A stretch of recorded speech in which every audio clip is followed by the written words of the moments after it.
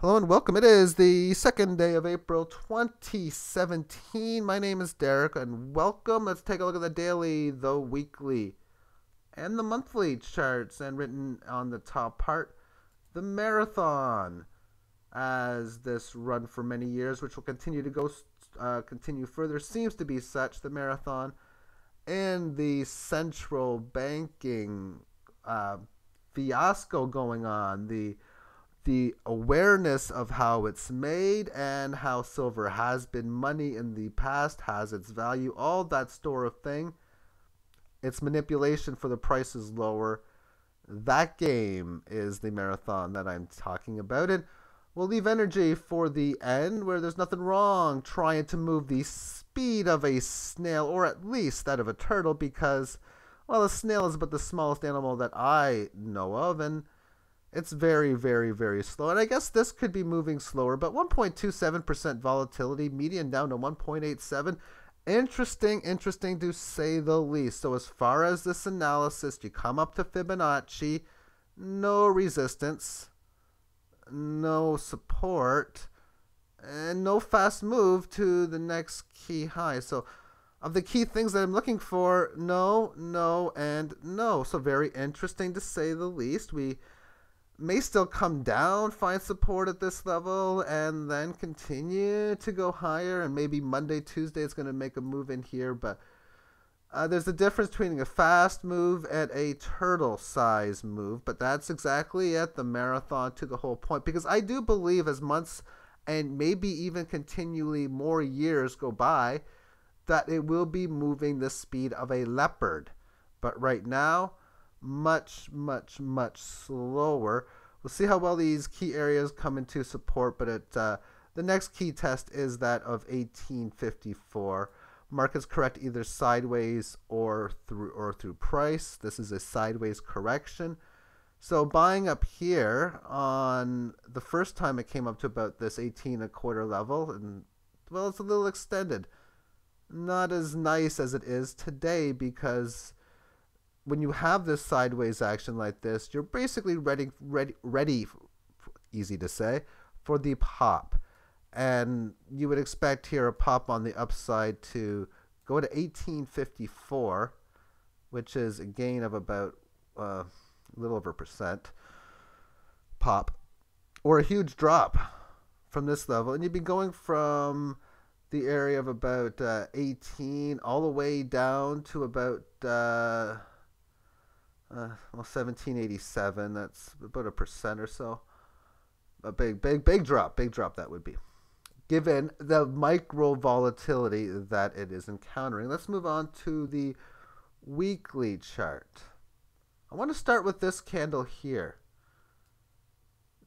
This situation, not this is the last time this has happened. Now, what is this? The answer is the, this is the last time that there's been a sandwich, period. Meaning a green candle sandwiched with two red ones, or even that of a red candle sandwiched between two green candles. And I'm trying to find one right now. I think this is the last red candle sandwiched with the green one. What this means is, since this point, down, down, down, down, then three up, four down, two up, two down, nine up, two down, and now three up. Another way of stating consecutively this uh, the up streaks and down streaks are coming into play. So this might be the last time. It looks like this is the last situation in which there has been one week down in a row over a year ago.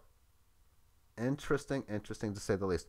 Okay, within this chart here, the current phase is a band breakout to test the 18 and a half level for change in trend via further breaks.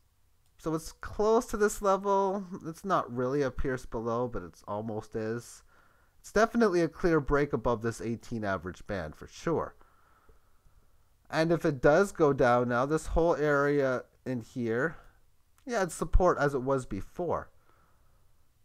I think what's important in a situation where if you leave this band like this, but you barely leave it, that you'd want to correct between the 18 average of highs and the 18 average of closes. But for now, it looks as if the momentum is going to move towards this level. And then when you're there, okay, and now what situation? As the daily chart was within it, I'm going to go back to it.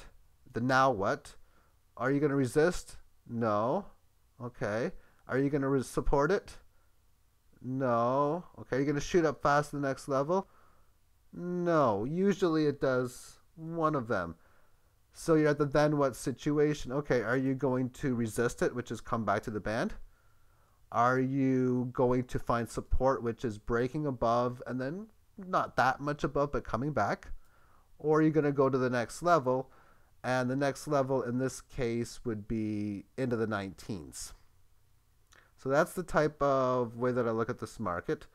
If uh, this area eventually fails and you're looking at a super failed breakout where you got above it, came back to support, and then broke out above again, that doesn't happen too often. So I really do like the chances that this thing uh, does make a move into this level without really going much below for even for that long the 18 average of closes.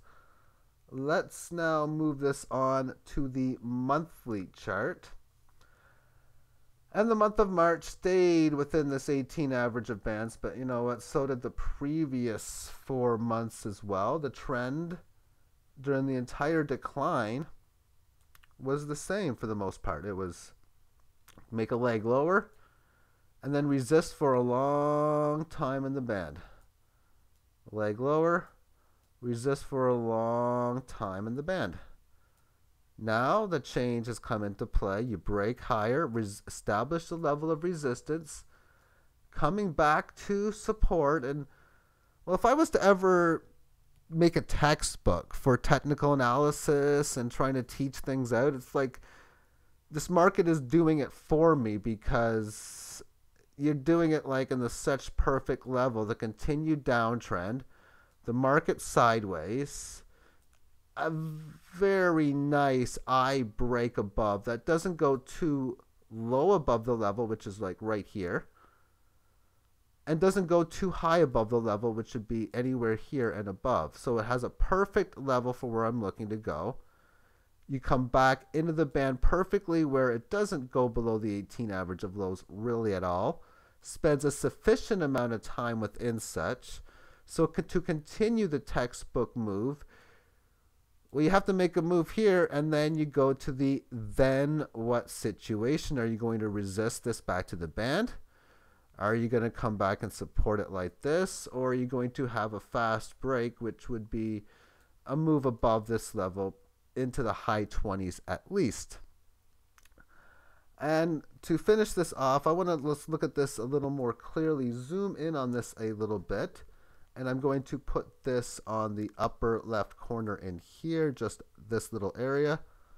There we have it. So in here we can see within the actual band move again, you establish this resistance, some sideways movements within this higher area that ultimately didn't hold.